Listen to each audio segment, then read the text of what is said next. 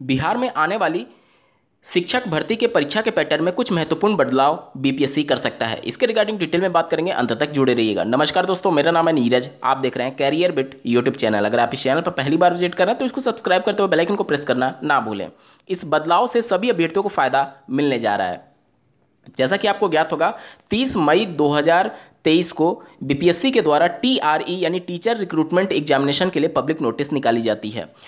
BPSC जो है वो केवल शिक्षक भर्ती की नियुक्ति की परीक्षा का आयोजन नहीं करता है। इसके अलावा भी बहुत सारे एग्जामिनेशन उनके द्वारा कंडक्ट कराए जाते हैं। इसी में से एक एग्जामिनेशन के लिए पब्लिक नोटिस निकाली जाती है।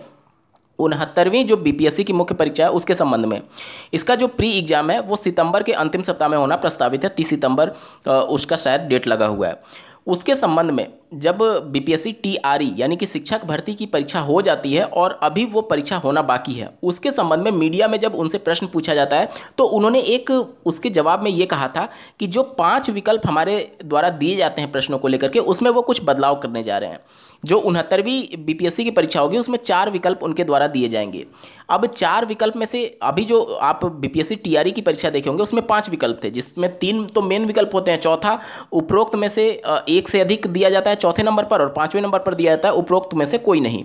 तो उनके द्वारा ये कहा गया कि अब हम भविष्य में जो बीपीएससी उनहत्तरवीं जो परीक्षा होने जा रही है, उसमें हम चार विकल्प देंगे। अब कौन सा विकल्प उनके द्वारा हटाया जाएगा? जैसे कि तीन विकल्प तो मेन है, वो तो प्रश्न के अनुसार रहेंगे ही रहेंगे।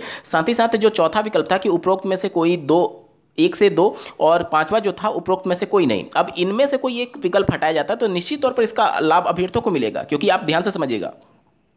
अगर किसी प्रश्न के पाँच विकल्प दिए जाते हैं, और मान लीजिए आपके, आपको उस प्रश्न का उत्तर नहीं आता है, और आप उस प्रश्न के सापेक्ष गेस करते हुए तुक्का लगाते हैं तो उस कंडीशन में आपकी प्रोबेबिलिटी जो होती है, वो सिर्फ़ 20 प्रतिशत होती है प्रश्न के सही होने के लिए। अब अगर चार विकल्प दिए जाते हैं तो चार विकल्प के कंडीशन में अगर आप गेस करते हुए तुक्का लगाते हैं तो आपकी प्रोबेबिलिटी बढ़ करके पच्चीस प्रतिशत हो जाती है। तो यहाँ पर अगर विकल्प की संख्या कम की जाती है तो निश्चित तौर पर आने वाली शिक्षक भर्ती में आप सभी को इसका लाभ मिलेगा। और इसके संबंध में बीपीएससी की जो उनहत्तरवीं परीक्षा है, इसके संबंध में मीडिया में बात करते हुए उन्होंने ये बात कही थी कि हम पाँच से लेकर, पाँच विकल्प से घटा करके चार विकल्प देने जा रहे हैं।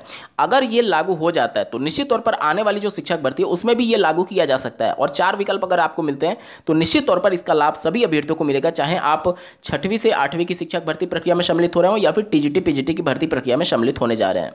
आपको आने वाली शिक्षक भर्ती के लिए बहुत बहुत ढेर सारी शुभकामनाएँ। इस वीडियो को देखने के लिए आपका बहुत बहुत धन्यवाद। भगवान करे आपका दिन शुभ हो।